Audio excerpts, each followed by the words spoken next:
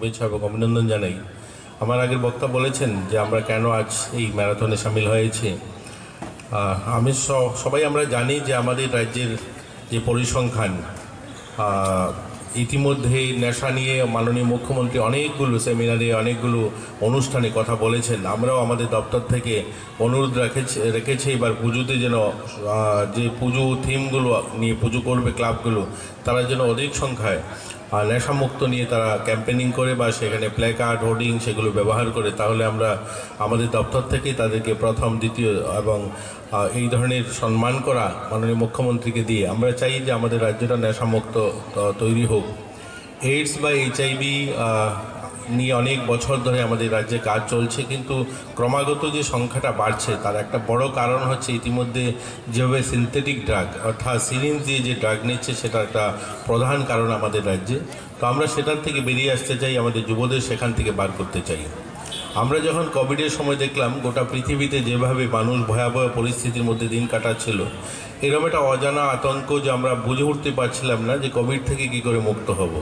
কিন্তু সেটার থেকেও আমরা বেরিয়ে এসেছি, সেটার থেকেও কিন্তু আজ আমরা মুক্ত। যেখানে কোনো ঔষধ ছিল না, সেখানে কোনো আমাদের মধ্যে সেটা নিয়ে কোনো ধরনের জানা ছিল না কীভাবে সেখান থেকে বেরোবে। তো আমরা যদি এইরকম একটা ভয়াবহ পরিস্থিতি আমাদেরকে মিডিয়ার মাধ্যমে অনেক দেশ থেকে অনেকগুলো ছবি এসেছিল যে দেখা গেছে হাজারো হাজারো মানুষ মরে যাচ্ছে, কোনো ধরনের ঔষধ নেই, কোনো ধরনের চিকিৎসা ব্যবস্থা নেই, আমরা ঘর থেকে বেরোতে পারছি না। তো এইরকম পরিস্থিতি থেকে যদি আমাদের দেশকে বার করা যায়, আমাদের সমাজকে বের করে আনা যায়, তাহলে এইডস থেকে কেন বার করতে পারব না আমরা? তো আমরা আমাদের রাজ্যের যারা আজ সিনথেটিক ড্রাগ নিচ্ছে, তার জন্য আমরা যদি সেটাকে জন আন্দোলনের রূপ নিই, অর্থাৎ এখানে যারা আজ উপস্থিত হয়েছি বা আমরা যারা আজ এই ম্যারাথনে সামিল হয়েছি প্রত্যেকটা নাগরিক, প্রত্যেকটা সদস্য যদি আমরা এটা নিয়ে সবাই কাজ করি, শুধুমাত্র এইডস কন্ট্রোল সোসাইটি এটা নিয়ে কাজ করবে, বছরে একটা স্টেট লেভেল ম্যারাথনের আয়োজন করবে বা জেলা লেভেলে আয়তন করবে, এটা না থেকে আমরা প্রত্যেকটা কার্যক্রমের মধ্যে যদি এটাকে নিয়ে আলোচনা করি, আমাদের মধ্যে আলোচনা হয়, আমরা যদি নিজেদের মধ্যে এটা নিয়ে সচেতনতা বৃদ্ধি করি, তাহলে আমার মনে হয় এটা খুব কঠিন চ্যালেঞ্জ নয় যে আমরাও আমাদের রাজ্যে যুবদেরকে সেখান থেকে বের করে আনা।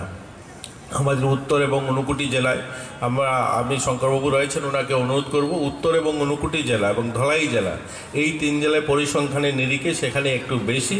যেহেতু মিজোরাম বর্ডার থেকে এই এই দিকেই আসছে এই সিনথেটিক ড্রাগগুলো আমরা অনুমান করছি এর জন্য ওই দিকটাতে যেন আর একটু বেশি ক্যাম্পেনিং করা যায় বা সেখানে আমরা আরও বেশি বেশি অ্যাওয়ারনেস ক্যাম্প করতে পারি বা এই ধরনের অনুষ্ঠান আয়োজন করতে পারি, তাহলেও আমরা সেখানকার ছেলেমেয়েদেরকে আরও একটু রিলিফ দিতে পারব। তো আমরা চাই সবাই মিলে এটাকে একটা জন আন্দোলনের রূপে তৈরি করুন, তাহলে আমরা এইডস মুক্ত যে আমাদের ত্রিপুরা বা এইচআইভি মুক্ত ত্রিপুরা নির্মাণ করা সেটা আমাদের দ্বারা সম্ভব হবে।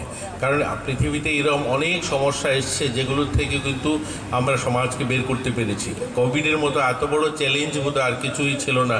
সেখান থেকে যদি আমরা বেরিয়ে আসতে পারি, সেখান থেকে যদি আমরা একশো শতাংশ আজ সেখান থেকে বেরিয়ে এসছে গোটা দেশ, তাহলে এটা কেন পারব না? এটা তখনই সম্ভব হবে। দেখুন, স্বচ্ছ ভারত আমাদের আগরতলা মিউনিসিপ্যালিটি কর্পোরেশন আজকেই দেখছি হোর্ডিং লাগিয়েছে এক তারিখ এক ঘণ্টা। অর্থাৎ এত ইনোভেটিভ কার্যক্রম যে স্বচ্ছ ভারত নিয়েও আজ কিন্তু সরকার বলতে হয় না বা কোনো দপ্তর কাউকে নির্দেশ দিতে হয় না। যেমন আজ এখানে আমরা এই যে আয়োজনটা করলাম, এটা দপ্তরের নির্দেশিত কার্যক্রম যে একটা কার্যক্রম করতে হবে। কিন্তু স্বচ্ছ ভারত আজ কিন্তু বলতে হয় না। স্বচ্ছ ভারত বিভিন্ন ক্লাব, ব্যবসায়ী সমিতি, বিভিন্ন অর্গানাইজেশন তারা নিজের মতো করে আয়োজন করছে। যখন খুশি তখনই এই ধরনের আয়োজন করছে। এর কারণে কি হলো? আজ আমরা যখন দেখি আমাদের শহরের আশপাশ অনেক পরিষ্কার পরিচ্ছন্ন, আজ থেকে সাত আট বছর পিছনে যদি চলে যাই, তার থেকে অনেক পরিবর্তন হয়েছে আমাদের। তো এটা সম্ভব হয়েছে, এটা একটা জন আন্দোলনের রূপ নিয়েছে, সবাই সেটাতে সামিল হয়েছে। তেরম এইডস এবং এইচআইভি নিয়ে কার্যক্রম শুধু এইডস কন্ট্রোল সোসাইটি করবে, এর থেকে বেরিয়ে যদি আমরা প্রত্যেকটা অর্গানাইজেশন প্রত্যেক সামাজিক সংস্থা, প্রত্যেকটা ক্লাব ব্যবসায়ী সমিতি, আমরা যদি নেশামুক্ত নিয়ে কথা বলি, আমরা যদি এইডস নিয়ে কথা বলি, আমরা যদি এইচআইভি নিয়ে কথা বলি, তাহলে সেখান থেকে আমরা বেরিয়ে আসতে পারব। সবাইকে শুভ সকাল, সবাইকে আবারও শুভেচ্ছা। শুভেচ্ছা জানিয়ে এই কার্যক্রম আমাকে দেখেছেন আপনারা, তার জন্য আপনাদেরকে অভিনন্দন।